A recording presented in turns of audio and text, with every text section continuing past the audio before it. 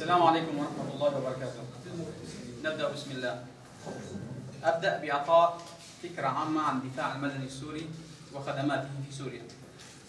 ثم ننطلق لعرض الإحصائيات والتقارير التي تم إحصاؤها خلال ستة أشهر من العدوان الروسي الغاشم على سوريا. ولد الدفاع المدني السوري من رحم هذه الثورة المباركة منذ ثلاثة أعوام مضت وقد كان نشاط هذه المنظومة في الأعوام الماضية موزعا على مساحة ثمان محافظات سورية.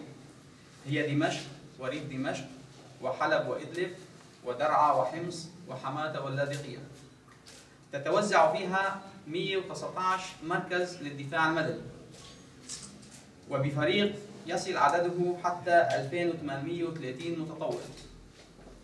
خلال هذه الثورة قدم الدفاع المدني خدماته لأكثر من ستة ملايين شخص.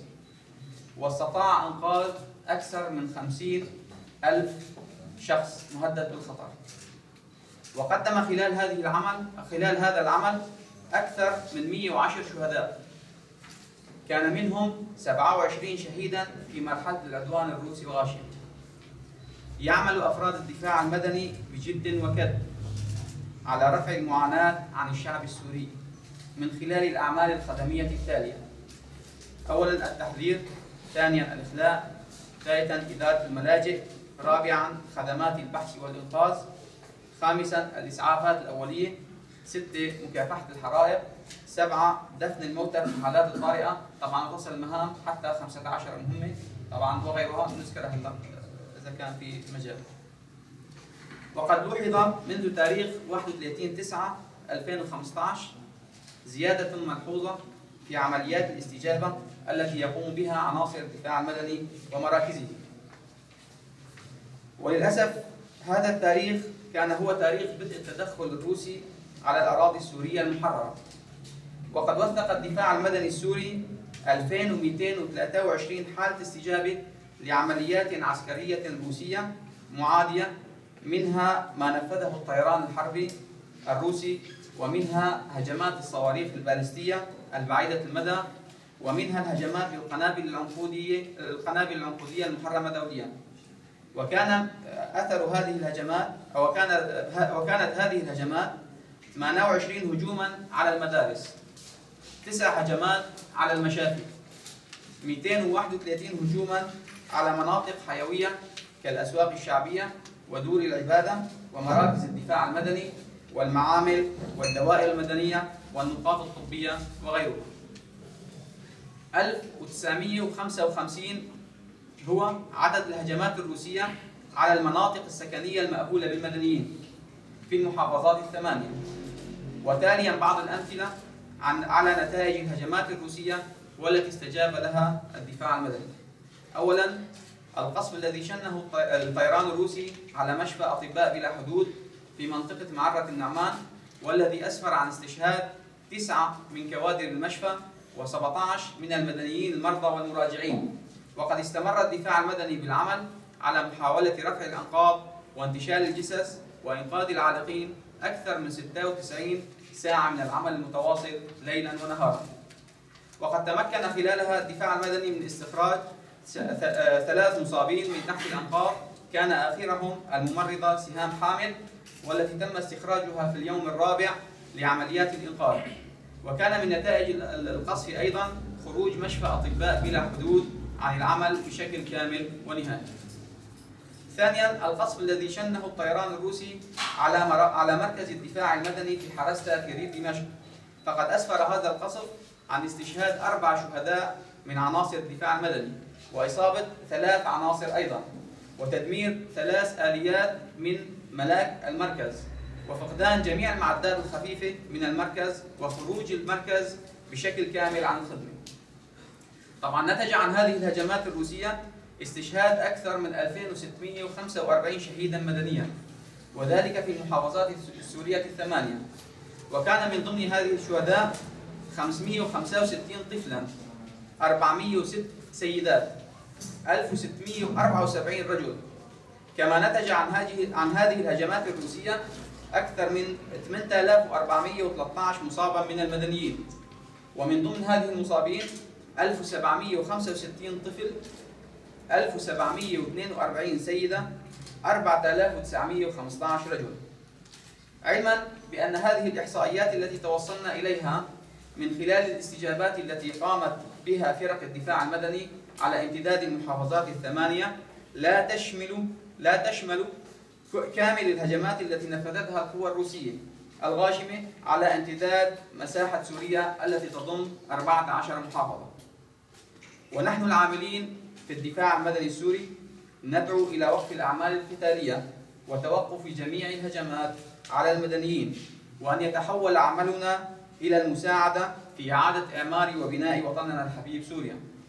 كما أود أن أشكر وكالة مسار بريس على إتاحة هذه المنبر لنتمكن من إيصال صوتنا إلى العالم أجمع وعلى تنظيمهم المهني الممتاز كما وأشكر مراسلي وإدارات جميع الفضائيات والصحف والإذاعات الذين لبوا هذه الدعوة والآن أرد على استفساراتكم. محمد فيصل تلفزيون اورينت هل كان استهداف طيران العدوان الروسي للنقاط في في سوريا آه، تجمعات عسكريه أم تجمعات مدنيه أم أنه كان عشوائيا بحسب ردكم أنتم كدفاع مدني في سوريا؟ هلا آه، كان الاستهداف يعني بشكل عام كان أغلب الاستهداف إلى تجمعات مدنية وإلى أماكن مدنية. طبعا آه، تبين هذه الإحصائيات أن الاستهداف كان غالبه على الأماكن المدنية والتجمعات المدنية للأسف. تفضل. تفضل السيد صحيح الوطن ما أن منظمة هي شاهد وضحية نفس الوقت لجرائم قوات النظام قوات الاحتلال الروسي كيف يتم توثيق المجازر وإيصالها إلى مؤسسات المجتمع الدولي؟ هلا يصدر آه، عن الدفاع المدني دائما تقارير يومية أو عملياتية لكل عملية يقوم بها عناصر الدفاع المدني. هذا التقرير يكتب فيه الخسائر البشرية والخسائر المادية والخسائر في صفوف الدفاع المدني وتحفظ هذه التقارير بالأرشيفات ويصدر آه، تقارير يومية عن آه، ما قام بها الدفاع المدني وتحفظ للاستخدام لاحقا كأدلة آه، كأدلة إدانة للقوات الغاشمة أو القوات المعتدية على المعتدية على الأراضي السورية. صح. أثناء استهداف النظام أسواق شعبية أو استهداف مناطق في نفس اللحظة مثل كفرون ومعرض النعمان في نفس اللحظة كيف يتم التعاطي مع تلك المجازر من كوادر الدفاع المدني؟ لا اجابه بداية أول شيء بحب أشكركم على هالشيء. آه، في هالحالة هاي نحن شو نشتغل؟ نحن عندنا مراكز موزعة جغرافيا على المدن وعلى المناطق. عندنا قطاعات، عندنا مراكز آه، فرعية، مراكز رئيسية في المدن. اليوم نحن أي شيء بيستهدف آه، اليوم صارت مثل ما ذكرت امبارح مثلا في عندنا فريق بكفرنبل، عندنا فريق معرض النعمان. ازروا فريق صفون هو اللي اقرب لمركز كفرنبل معرض النعمان ازروا فريق دلمنس هو الأقرب إلى معرض النعمان. والحمد لله الكوادر يعني آه، مغطي تقريبا جغرافيا كل مساحة المحافظة. تفضل. عمر علوان مساء الرئيس أنت حكيت عن استهداف الطيران الروسي لمركز حرسنا. آه، في استهدافات ثانية غير مراكز أو لفرق الدفاع المدني؟ وهل استهداف آه، الدفاع المدني أثناء عمله يعتبر استهداف مركز؟ نعم. يوجد استهداف لأكثر من مركز، أنا ذكرت مثال واحد فقط هو استهداف مركز حرستا، أما المراكز التي استهدفت هي عدة مراكز في في كامل المحافظات، بالإضافة إلى استهداف فرق الدفاع المدني أثناء العمل، يعني يوجد ضربات مضاعفة دائما تكون على فرق الدفاع المدني أثناء العمل، يعني يخرج عناصر الدفاع المدني لتاديه عمل أو تاديه مهمة أو رفع أنقاض في مكان معين، فيكون هناك قصف مزدوج أو ضربة مزدوجة إلى نفس المكان ادت إلى إصابة واستشهاد عدد لا بأس به من عناصر الدفاع المدني. احمد غربور قريه تونس حضرتك ذكرت إحصائيات عن آه، استجابة للدفاع المدني للقصف الروسي، كيف يتم التمييز بين القصف الروسي أو قصف التحالف أو قصف النظام؟ تماما. الآلية اللي فيها هاي. تماما. هذا قصف هلا بصراحة نحن لسنا عسكريين، يعني لا نستطيع التمييز بشكل نهائي عن نوعية الطيران، هلا أنا أفضل أن يكون السؤال نتيجة القصف، إيش هي نتيجة القصف؟ الدمار اللي حصل. نحن كنا نعتمد دائما على المراصد اللي هي تبلغ آه، إنه نوع الطيران هو طيران روسي أو طيران سوري أو طلع من المطار الفلاني إذا اتجه إلى المكان الفلاني. فكنا نعتمد في تقاريرنا على هذه على هذه المعلومات. ولكن نحن دائما لازم نتحدث عن نتائج هذا القصف. فالمجرم واحد وكل شيء ساعد هذا المجرم بالإجرام فهو مجرم مثله بالأخير. ولكن نحن كنا نعتمد فقط قلت لك على موضوع المراصد وعلى موضوع ال- ال- ال- التبليغ. من مكان آه، صعود الطائرة وهبوط الطائرة وعودتها حتى الصواريخ البالستية والعنقودية يعني سابقا كان نظام يعني قليل كان استخدامه له فمرحلة تدخل روسيا غالب استخدام هذه الصواريخ كانت هي من قبل القوات الروسية الغاشمه. تفضل. أحمد رسال راديو فريش بداية بدي اشكرك واشكر عناصر الدفاع المدني ويعطيك العافية. آه، سؤالي لك أستاذ الكريم آه، ما هي العوائق التي تقف أمام عناصر الدفاع المدني أثناء القيام؟ وهل تطلبون مساعدة المدنيين آه، اثناء القيام بالعمل أم أن لديكم آه، كادر كامل في أداء المهمات؟ صراحة العوائق كبيرة يعني بس رح نذكر آه، يعني جزء بسيط منها. آه، ممكن آه، أحد العوائق اللي نحن عم نعاني منها مو نقص بالكوادر آه، نقص بتدريب الكوادر والآن إن شاء الله نعمل عليها. عندنا شوي نقص بالأدوات والمعدات. كمان. في عندنا أهم عائق نحن بنعاني فيه صراحة مو موجود في العالم إنه الدفاع المدني السوري هو عم يعمل في حالة حرب. فعناصرنا بيكونوا عم يشتغلوا بالضربة وبتكون الطيارة في الأجواء. فصراحة هذا أكبر عائق نحن بنعاني منه وكثير من شبابنا استشهدوا بالضربة المزدوجة بسبب هذا الأمر. هن عم يشتغلوا يرجع يعيد الطيران ضربة على المكان نفسه العمل. فهذا كان أكبر العوائق اللي عم نعاني منها. الدفاع المدني مؤسسة مدنية تماما مثل الهلال الأحمر السوري. آه، لماذا يستطيع الهلال الأحمر السوري العمل في المناطق المحررة ولا يستطيع الدفاع المدني العمل في مناطق التي تخضع لسيطرة النظام؟ أو هل أنتم كدفاع مدني مؤسسة مدنية تستطيعون العمل في المناطق التي تخضع لسيطرة النظام؟ نعم. هلا آه، أنت قصدك العمل داخل مناطق النظام. نعم. تمام. هلا أنا في ال- البيان اللي أنا ألقيته ذكرت كلمة إنه ولد الدفاع المدني رحم هذه الثورة تماما فنحن من أصل هذه الثورة. وأنتم بتعرفوا إنه النظام شو وجهة نظره لكل شيء شخص شارك أو ساهم أو أو حتى اومأ بإيده باتجاه هذه هذه الثورة. طبعا نحن ما عندنا مشكلة لو إنه النظام بيسمح لكوادرنا ان تدخل وتساعد المدنيين الموجودين داخل مناطق سيطرة النظام. ولكن للأسف هو هو اللي بيمنع هذا الأمر من الحدوث. أبو بكر مسار بريس محمد. آه، كثيرا بداية تأسيس مؤسسة الدفاع المدني. كنا نسمع عن نقص في المعدات والآليات إضافة إنه عناصر الدفاع المدني خاصة بحلب ثلاث أو أربع شهور لا تتقاضى مرتبات يا ترى هل الإمكانيات الآن تتوافق مع كثافه العمل الذي على كاهل طبعا هلأ أنا بدي أبدأ من البداية. آه، أخي الدفاع المدني هو مؤسسة أو هو منظومة مثله مثل أي منظومة نشأت في هذه الثورة فأكيد مرت في مراحل صعبة جدا جدا. مرت بمراحل انقطاع الرواتب انقطاع الكلف التشغيليه ولكن طالما أن الهدف واضح هو إنقاذ المدنيين تماما فالحمد لله رب العالمين بقيت عناصرنا ثابتة بكل الظروف الصعبة اللي هي عدينا فيها. ولا بحب ابشركم يعني وأقول لكم إنه الحمد لله رب العالمين الوضع هو أفضل من البداية، الوضع هو أفضل من ناحية الأعداد، من ناحية التدريب، من ناحية الكوادر، من ناحية التوسع الجغرافي، هو أفضل من البداية ونحن نأمل إنه يكون غدا أفضل من اليوم حتى. محمد بكور إذاعة هل هنالك في الأيام القادمة مشاريع للدفاع المدني لحماية المدنيين؟ تمام.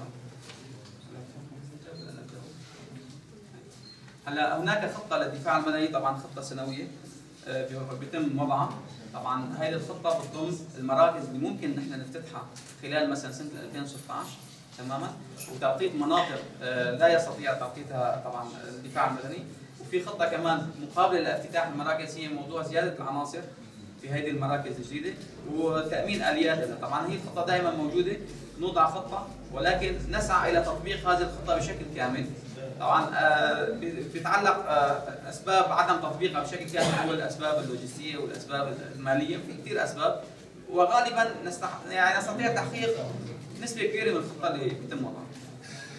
تفضل. اول تصريح للكرملين الروسي بعد تدخل روسيا في سوريا آه، دعا أو رد على اتهامات ال- المعارضة في استهداف المدنيين إنه هو يستهدف مقرات داعش أو تنظيم الدولة الإسلامية. فأنتم من خلال عملكم آه، شفتوا شيء في هالمناطق هاي إنه فعلا ثبت الشيء هذا شيء بيعزز آه، كلام الروس؟ طبعا لا نهائيا. نحن غالب ال- ال- الاستجابات كانت لنا هي كانت للأسف على مناطق مدنية مأهولة بالسكان. وعلى مناطق آه، تجمعات مثل مساجد ذكرناها نحن في البيان فكان غالب استهدافه اللي نحن استجبنا له هو على مناطق مدنية ولا يعني يمكن قل أو أو يمكن ممكن ننفي إنه استجبنا إلى مهمة في منطقة عسكرية. تفضل. ذكرت حضرتك إنه في حصيله للعناصر اللي توفوا استشهدوا من الدفاع المدني، هل هذا الشيء أثر سلبا على استجابة الناس للدفاع أو انضمامهم في الدفاع المدني؟ شكرا. هلا أكيد عناصر الدفاع المدني هن بشر وبالقصف أكيد بيتأثروا وبينصابوا وبيستشهدوا. ولكن في الثورة عم ينصاب المدني يا أخوي عم ينصاب المدني هو جالس في بيته بدون ما يؤدي أي عمل وعم يستشهد هو جالس في بيته بدون ما يؤدي أي عمل. فبتوقع إنه شعبنا ومواطنينا الموجودين في الداخل السوري هن أقوى من إنه يسنيهم للانضمام الانضمام للدفاع المدني هو مجرد استشهاد عنصر من الدفاع المدني أو إصابة عنصر في الدفاع المدني. تفضل. معلش الدفاع المدني هو من أهم ركائز الثوره كان على الصعيد المدني وعلى الصعيد الحربي.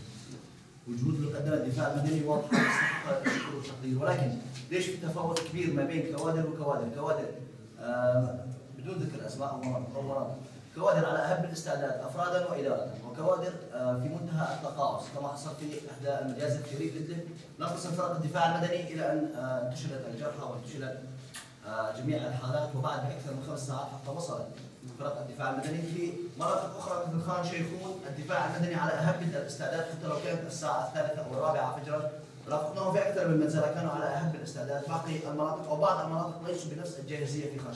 تمام. أخوتي الدفاع المدني تشكلت المراكز أو تأسست المراكز ليست على سوية واحدة وليس بتاريخ واحد يعني في مراكز تأسست من من قبل أكثر من ثلاث سنوات تماما هذه المراكز قدرت تحصل على تدريب وعلى عتاد هو يعني فاق المراكز الوليدة أو الحديثة ولكن هلا في خطه من إدارة الدفاع المدني السوري بأنه ترفع جاهزية المراكز الحديثة من ناحية التدريب ومن ناحية العتاد وتوزيع الآليات عندها بحيث توصل هذه المراكز الجديدة إلى مستوى المراكز اللي صار لها فترة من الزمن عامله على الأرض. تفضلوا حضرتك عنده شيء؟ تفضل. الله يسلمك العافية. أنا توقعت إنه المؤتمر يعني اجى بسبب المجزرة اللي صارت إمبارح توقعت إنه يعني عناصر الدفاع المدني يكون في عندهم أعمال الانفاق. يا ترى شو هي حصيلة المجزرة امبارح؟ شو الإجراءات لحمايه المدنيين بالاسواق التجمعات والمساجد إنه يحذروا من الطياره ممكن تجي تضرب؟ الدفاع المدني عنده آلية. أنا سمعت مثلا في المدينة في ببدش في زمور انذار ليش بمعركه النعمان لسه ما صار هذا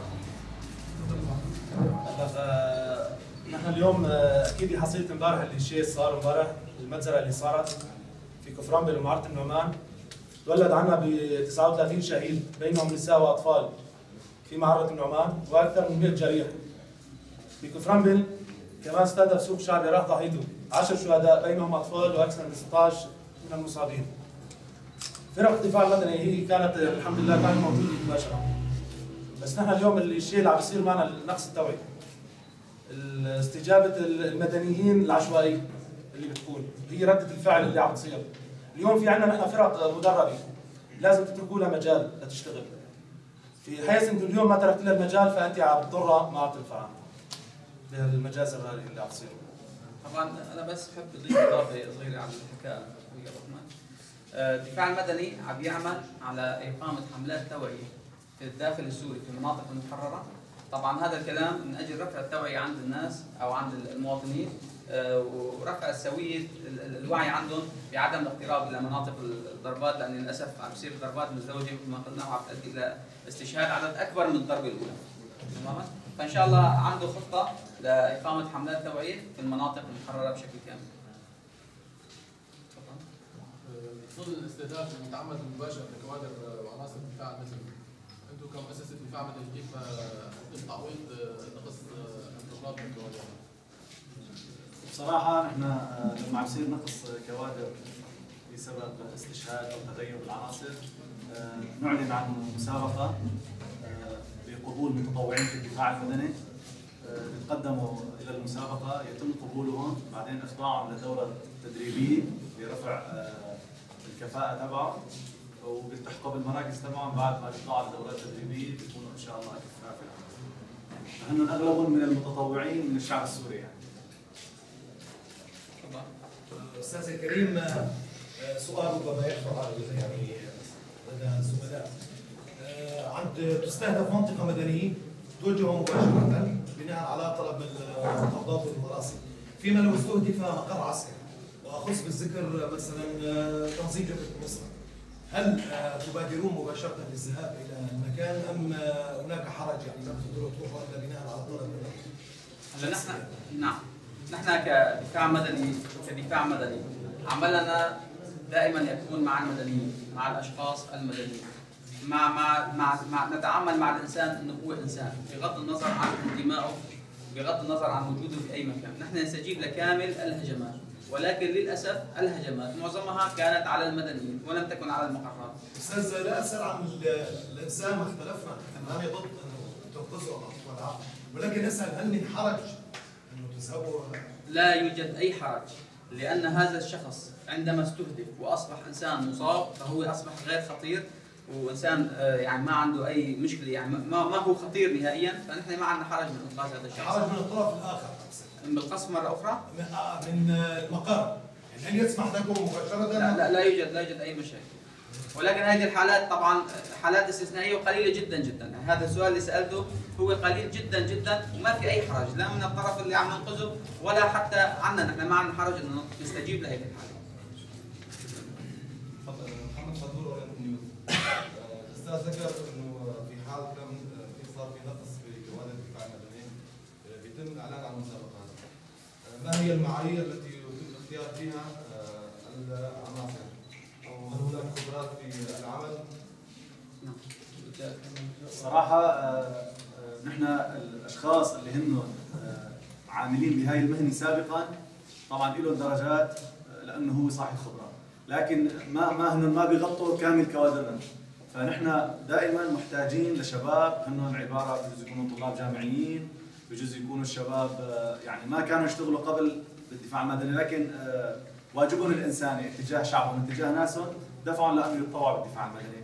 فنحن في عندنا معايير بنحطها آه، معايير تخص موضوع الثقافه ثقافة الشخص تخص اللياقة البدنية وإمكانية إمكانيته البدنية على القيام بأعمال الدفاع المدني لأنه هو عمل ما سهل ففي معايير نحن بنحطها بالمسابقة وبيخضع لها الإنسان ويتم قبوله بعد ما ينجح بهاي المعايير حسب ترتيب الأول فالأول شباب آخر سؤال مين بده يكون من نصيبي؟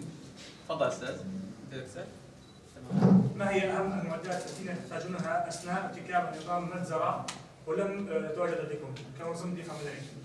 طبعا نحن نفتقر بصراحة للمعدات الثقيلة مثل تركسات وروافع آه، كبيرة الحجم لرفع الأسقف، طبعا عندنا قسم منها موجود متوفر بين إيدينا قسم منه ولكن هي غير كافية ونحن نحتاج إلى معدات إضافية من هذا من هذا المجال. شكرا لكم الله يعطيكم العافية مشكورين جميعا.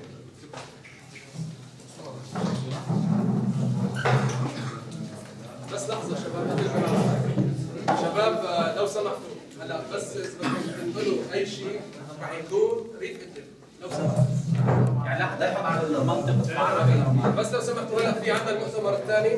ضلوا